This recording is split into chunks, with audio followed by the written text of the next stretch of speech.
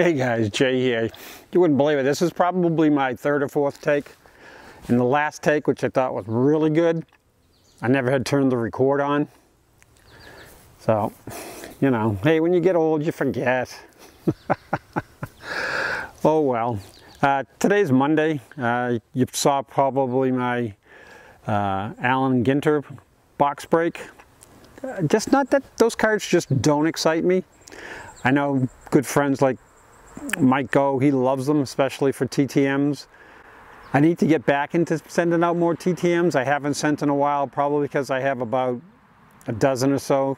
Uh, of course, it's probably the players I chose, uh, but just haven't come back yet.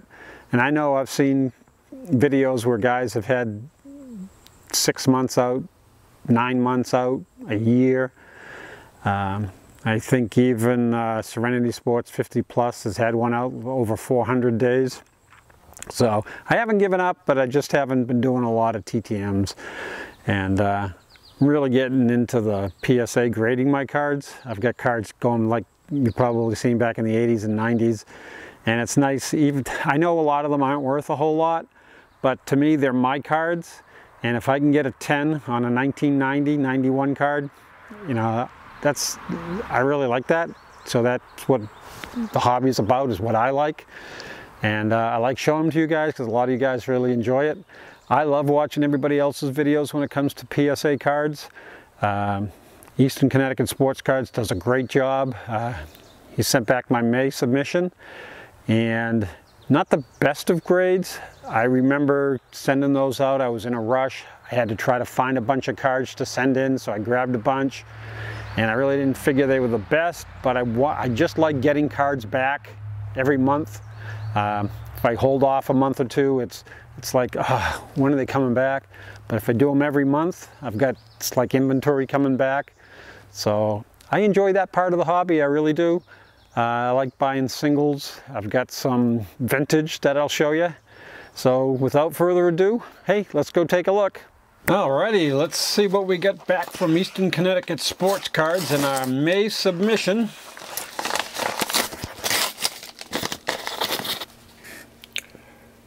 First up is 1959 Topps Bill Monbouquette. I had picked this card up at the Shriners and thought it was really nice sharp card. And I, this is his rookie card. So I thought I'd go ahead and get this graded and it came out a nice mint 7. Um, there are 104 in a 7 and 125 that are better. Here we have a 1997 Pacific Philadelphia Adam Vinatieri near mint 8. I was really hoping this would get a 9. Uh, actually there are 22 of these in an 8 and 115 that are better. So a little disappointed in that one. I'll probably check it out even further. Uh, I did buy two of them at that show and this one is came back a mint 9 so I was kind of happy with that and there are um, 155 in the 9s and I think 60 10s so still not bad. I can't wait till he gets into the uh, Hall of Fame. I had this kicking around one of my boxes. 2000 Bowman Chrome Roy Oswalt. Uh, came back a mint 9. Nice card. Uh, for Roy Oswalt, there are 422 of these in a 9, and there are 90 better. So it was just a card I had. I thought it looked really sharp. Um, so I decided to get it graded. Same with this one, 1998 Bowman Peyton Manning, Mint 9. There are uh, 1,475 of these in a 9 and 707 10s. Uh, but this is, you know, when you have something in your personal collection and you want to preserve it, I decided I'd do that. This one I was kind of pleased with. This is the 1998 Bowman Chrome Interstate. Peyton Manning, these were a little bit harder to find. Uh, this came back a mint 9. And there are 192 of these with 53 better. Pretty sharp card. And I bought a blaster box of Topps Heritage. And this is of Alex Bregman and Yulieski Gurriel.